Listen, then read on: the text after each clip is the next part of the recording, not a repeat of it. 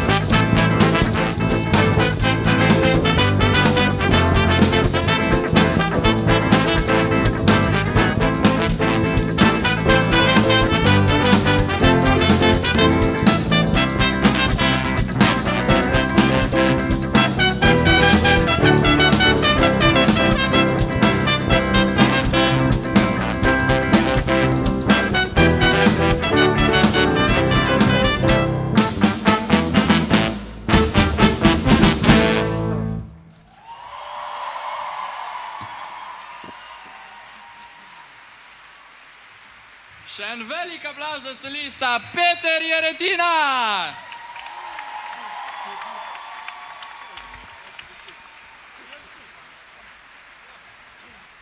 Jaz se da najmanj.